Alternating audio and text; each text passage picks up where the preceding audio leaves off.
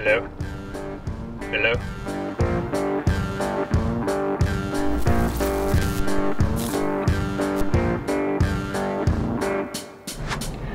What's up YouTube? Uh, just an update video this week. Wanted to show you, actually I wanted to uh, give you a quick tour of the boat because it's been a while since I've even shown you kind of the progress of what I've been doing on the boat. It was a couple months ago when I released my video of uh, me buying the new, the new old 1965 Cheoy Lee. And since then I've shown you some of the, the maintenance, you know, the, the head work, the uh, engine work, but I haven't shown any of the progress I've been making with the uh, on the deck, the teak work, which is the one thing that's been taking crazy amounts of time. Uh, I mean, everybody, well, a lot of people, not only in YouTube, whenever I bought the boat, but in real life as well, friends and people I know here in the boating community all told me like, oh, you don't know what you're getting into with that, that woodworking on that boat. Uh, of course, as a naive you know, boat owner. Uh, yeah, I'm, I'm eager to you know, make it happen. I'm eager to repair everything. I'm eager to do the maintenance. Now fast forward that it's been a year since I've owned this boat. I know that video I put out was only like two months ago, but that's just because it takes a while to get these videos edited. And I've got other projects that I'm working on in the mix and other boat work. Anyway, I'm doing a lot of uh, video editing, so a lot of times the videos are quite um, delayed. So that's why it's been a year now since I've owned the boat and I can show you uh, some of the progress I've been making. Still not completed. I have been working on this boat probably two or three days a week for a year and I still haven't gotten it completed yet. Uh, so it's crazy and the, the woodworking is completely insane. The varnishing, the removal of the old varnish, so I'm going to show you some of that today. The other reason I wanted to get this out quickly is because we're taking off tomorrow for a trip to Spain. Really looking forward to that. A couple of reasons. One, it's one of our first uh, big vacations since the whole COVID thing. Obviously we planned this uh, whenever stuff started opening back up. Uh, not expecting that this now new Delta thing and now everything's closing down again. So hopefully it's going to be okay with this trip. But um, looking forward to that. But also, I'm meeting up with a guy in Spain that is another fellow sailor.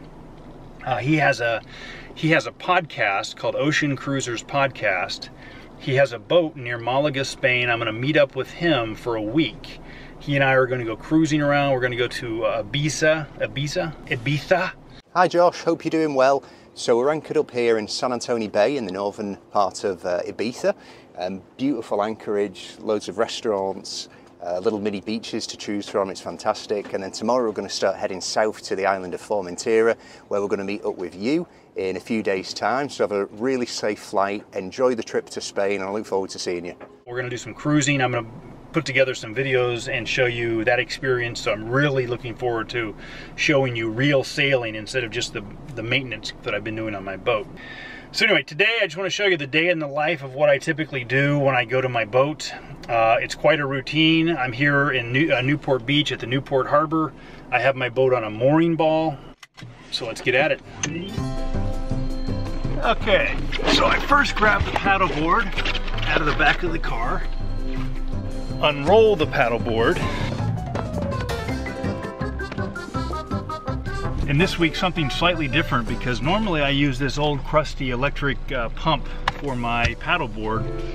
But this week, this week, if I can get into this,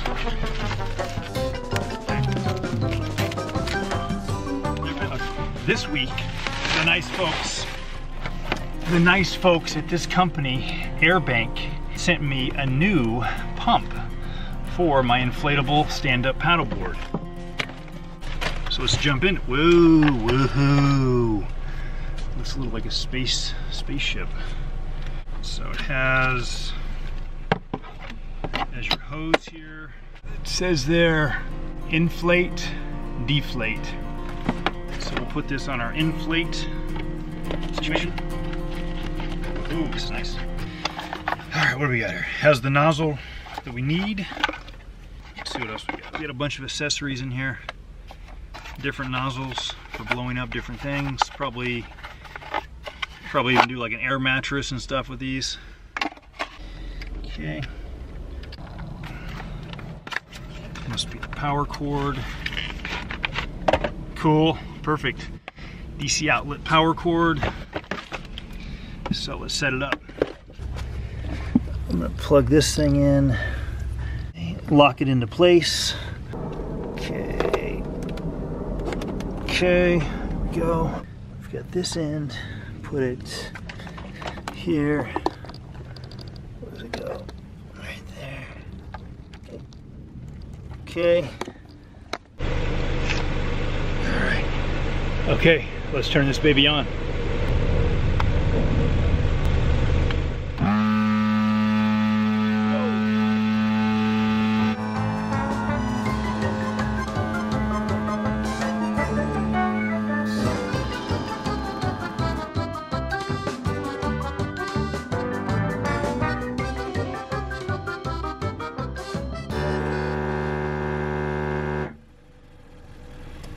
Okay, I had it set at 12 and it turned off at 12.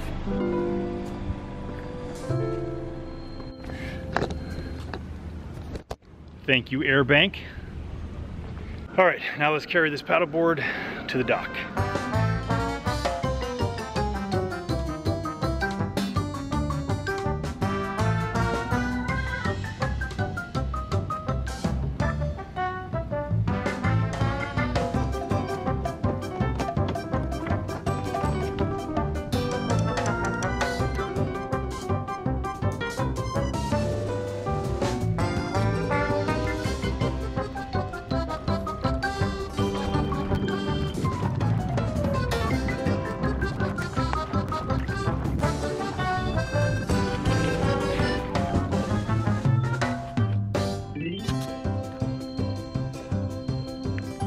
So, all right, made it onto the boat. Uh, also, I'm just looking at myself in the little thing here. I wanted to point out something to you guys.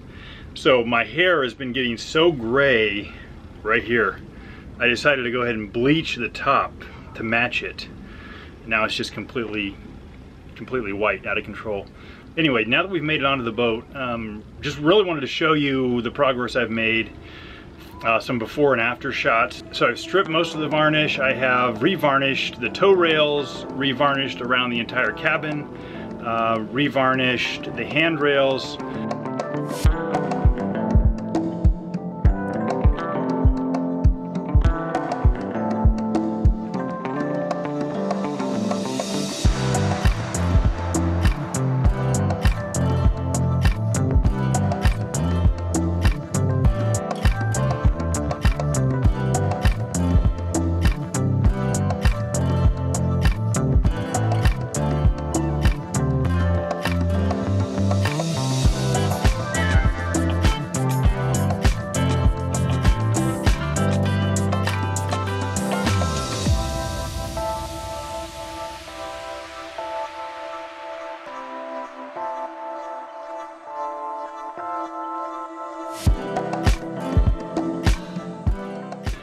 Am lacking now, I have to revarnish, and actually I have to still strip off and revarnish the boxes on top of the cabin. Also the pin rails um, on the sides there. I still have to do the cockpit area. And I'm already noticing, so just to kind of give you the process of what I've been doing, and by the way, I'm gonna make a video on how to varnish, but I'm glad that I've waited this long. I'm glad I waited like the eight or nine months to learn everything I needed to know, because at first, thinking I knew something by doing my own research and watching other videos, I didn't know much of anything. Now that I've actually spoken to tons of people at the docks, other workers that are working on their other boats, I have learned a ton. Uh, the guy that actually has his boat right where I launch my paddleboard whenever I come over here to the boat, he has a guy, but first of all, his the varnishing is just really beautiful on that boat. But he has a guy, Mario, who works full time on his boat. He has him on salary, 40 hours a week it's not even a huge boat, but he's got him working full time to do the varnishing and any, any little touch ups and stuff. That's the kind of devotion you need if you're going to have really spectacular varnish. My technique is not that at that level. Um, I'm getting it to where it's going to look nice, but it's not like a museum piece. Uh, where was I? Where was I? Even though I will have a video coming out about how to varnish, I'll give you a little summary of what I do, which is I get the, first of all, I have to get the generator on the deck uh, because obviously no power here at the mooring, so I'm powering up the generator. I'm plugging in a heat gun. I'm putting the heat gun to the, the old varnish. I'm taking a scraper, I'm scraping off the old varnish like one inch at a time, super tedious. Um, after I then sand it and get it all looking nice, I then put on a coat of uh, epoxy sealer. I let that dry for a few days. I come back and I start putting on my coats of varnish. Uh, I put on five or six coats of varnish. I should do more, uh, and I'm going to do more, but uh, I wanted to just try to get everything done as quick as possible. And then what my plan of action is, is to make it more manageable. I've now taken uh, the boat and kind of divided things into six sections. That way I can focus one month on a section and I can do that twice a year. And that's the minimum probably that you could get by with uh, to make sure that the, the varnish does not continue to uh, peel and uh, you have to start the whole process over again. Uh, I definitely don't want to start the process over again, so I want to stay on top of it. My plan is to go ahead and put the coats on to each of those sections uh, as for as long as I own the boat. But yes, I will say uh, the people who commented on my first video whenever I first bought this boat, and also people I've just talked to around, that have seen this wooden, you know, all the woodwork on the boat have warned me how labor intensive it is, and yes, it is that labor intensive. Just to just to tell you. Anyhow, that's the update from here. Thank you for watching. I am really excited for the future videos. Uh, meeting up with Andy from the Ocean Cruisers podcast in Spain, so I'm going to put together some videos of that. Excited for that. Excited to share that with you. But for now, thank you for watching, and we'll see you next time.